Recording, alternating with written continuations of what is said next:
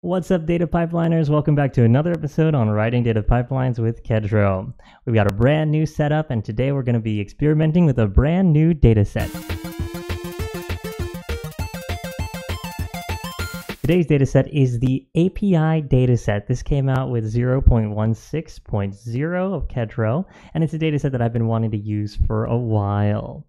It allows a user to download whatever data that they need from any HTTP data sources. So effectively, it actually wraps around the requests library and then creates an HTTP request to your target and then returns your request response object. Now, if you're new to the channel, we talk about Kedro, we talk about data engineering, and we just want to help you guys make better data pipelines. So let's go ahead and get started in today's video. Now, the Kedro API dataset itself is actually a little bit difficult to find uh, documentation for. If you actually go to the Kedro documentation at this time, you only have a, a very rudimentary breakdown of the dataset itself. It shows um, an example set up for the dataset, uh, as well as you know some of some minor descriptions of the different portions. Uh, but what it doesn't really talk about is it doesn't talk about so much how to use the dataset. And the truth is that this dataset itself, if you look very closely here, the documentation is a little bit misleading. It says here that there's a save function on the dataset, but actually there is no save function. If we go right into the code, the source code for this API dataset, you can see that if you scroll down to the save, it actually returns a dataset error. What this means is that the API dataset is a read-only dataset. So when you create the dataset, you actually have to create all of the parameters that you wish to send in your requests object to your HTTP server inside of the catalog YAML itself or wherever you define the API dataset.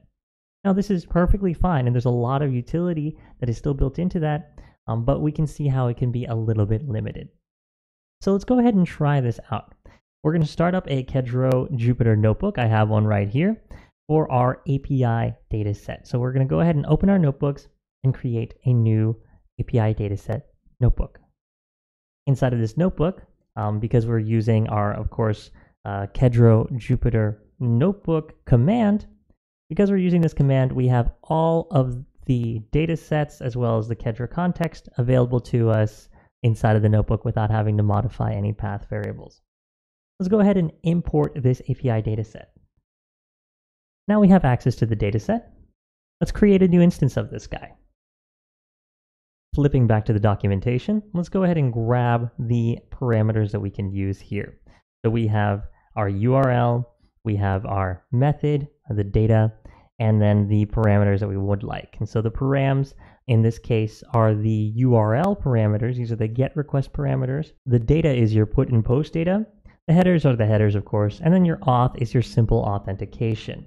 The timeout is the timeout for the data itself. And this is how long it takes before the request object gives up. Now going back into our Jupyter Notebook, I actually have here a webhook site URL already prepared that we can use as our URL. Let's make this dataset very simple and let's use the URL directly for this dataset. And then we're going to go ahead and just call the load function on this guy. So when we call the load function, we should get a request object back. And you can see here we do have a request object. And if we look inside of our webhook site, we can see that the get request was made. And again, the get request is the default method for the dataset. If we want to add any extra data, we have to change the method itself to post. And then if we want to add in our data, we use our data parameter. Now, after adding this data uh, parameter, we run this guy. If we do a load again using this data set and check our response. And here in the webhook site, we can see that we have our brand new request and it includes our form values. Hi there, bye bear. Now, the issue with this is that if you want to use JSON data, what you actually have to do is you have to do two things.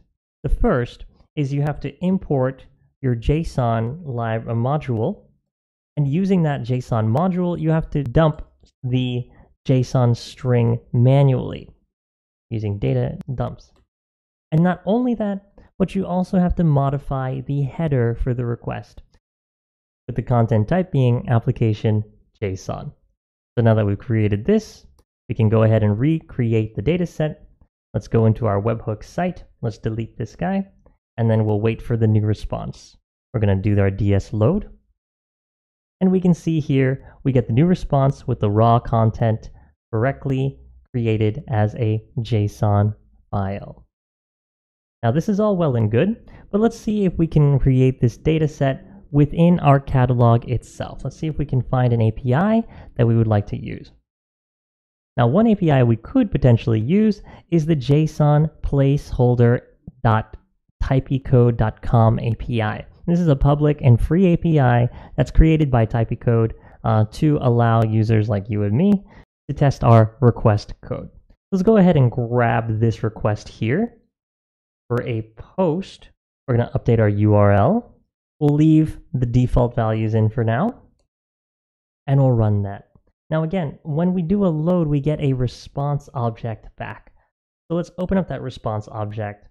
And one trick you can do with our Jupyter notebooks is that whatever the output is here, that, that number, if you do an underscore and then type that same number, you can actually get access to that particular output. You can see here, this is the response from that uh, previous cell. So looking at this guy here, if we open up our content, we can see the byte encoded content, which is actually the JSON string of that one post from the API. If we use .json, and I believe it's a function, it will parse that JSON for us. And so here it is. What's cool about this API is that if you pass in any data, it will actually echo that data itself. And so here, for example, you can see that they're doing a post method um, with the JSON stringify, and they're getting back this JSON output. So let's go ahead and do that with ours. If we uncomment this guy here, and then make sure that the URL is correct, let's make sure that it goes to posts.